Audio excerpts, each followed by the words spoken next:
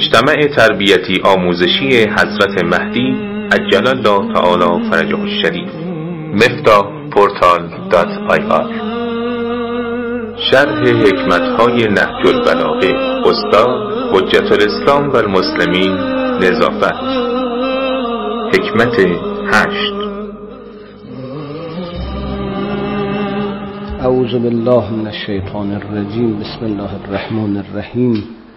اعجبوا لهذا الانسان ينظر بشهم و یتکلم بلحم و یسمع بعزم و یتنفس من خر شهم به معنی پیه هست. اون پیهی که توی چشم انسان هست اینجا منظور همونه. لحم هم تکه گوش رو میگن که مراد زبانه. از یعنی استخوان و خرمم به اون سوراخ و شکافی میگن که توی گوش انسان هست.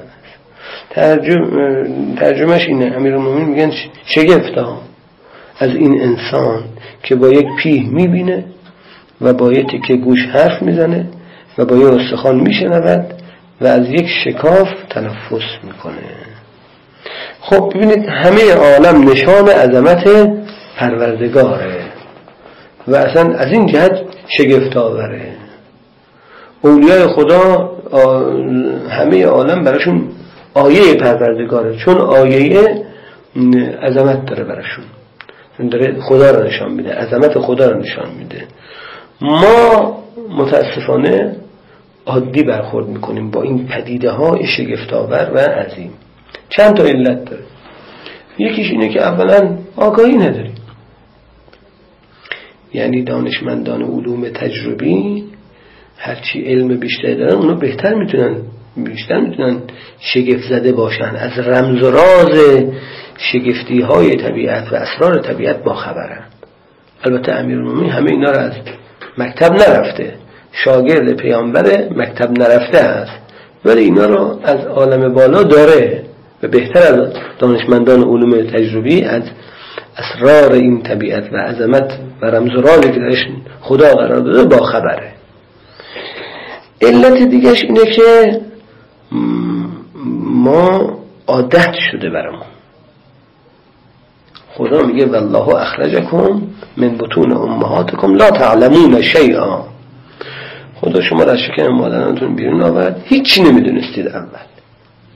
و جعل بین لکم سمع و الابصار و الافعده براتون چشم و گوش و دل قرار داد. خب بچه رو در نظر بگیرید یه نوزاد رو. با اولین چیزی که آشنا میشه چیه؟ پستان مادره. نوازش دست مادره. بعد همینجور از شود کم کم صداهایی رو میشنوه. اون چشمش باز میشه چیزای دیگه هم می‌بینه. این که بچه ها فضولا هی می‌خوان دست بزنن چون می‌خوان کشف بکنن. ببینید چون ذره ذره این بچه آشنا میشه این انسان و چشمش باز میشه گوشش باز میشه دفعه اولی که یه چیزی رو می‌بینه که کاملا هم با اسرارش آشنا نمیشه. با یه حدش آشنا میشه. خب هم دفعه اول یک تعجبی براش داره و نه تعجب شدید چون فهمش بالا نیست. این ذره ذره فهمش میاد بالا. ذره ذره هم آشنا میشه. لذا عادی میشه براش. شما تصور بکنید یک اگر بر انسان می‌خواست به دنیا بیاد با فهم یک آدم 20 ساله سکته می‌کرد. شیف زده می‌شد واقعا. همین الان مرده هایی که صد سال پیش مردن اگه الان به دنیا بیان دوباره نمیمیرن؟ چی خبره؟ درسته؟ اگه با همون فهم به دنیا بیان. اگه دوباره به سیر بچگی رو طی کنه نه.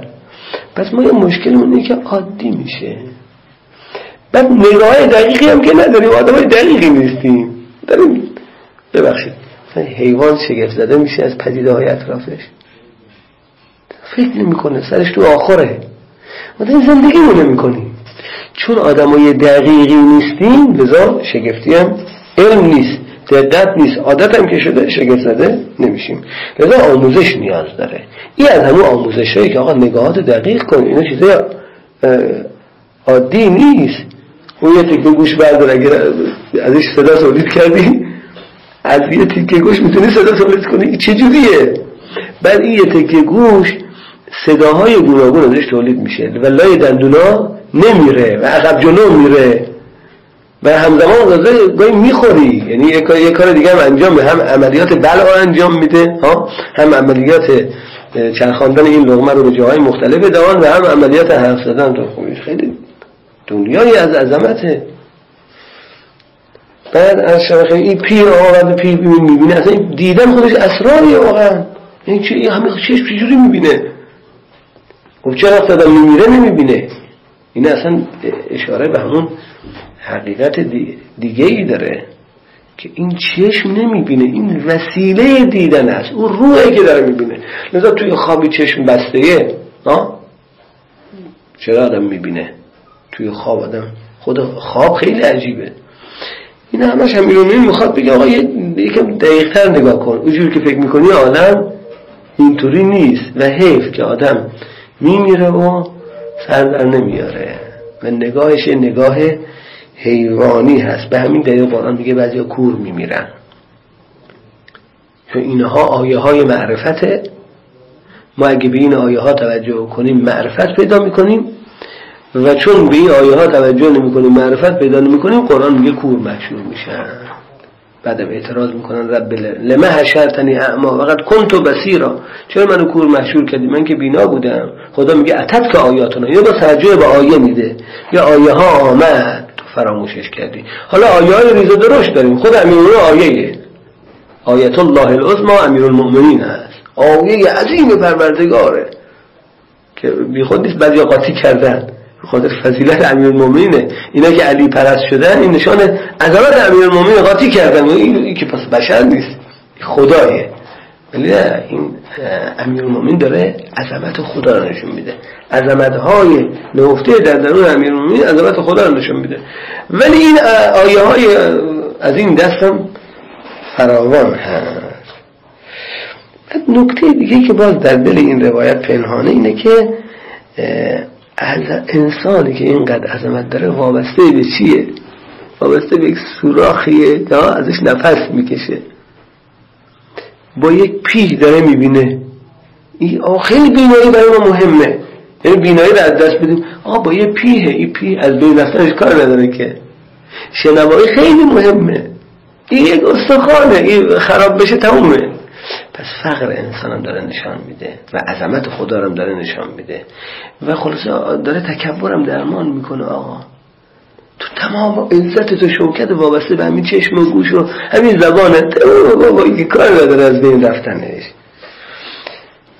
به حال این از شود بیان ما رو یاد سخن اون عالم میندازه که میگه طبیعت معجزه است.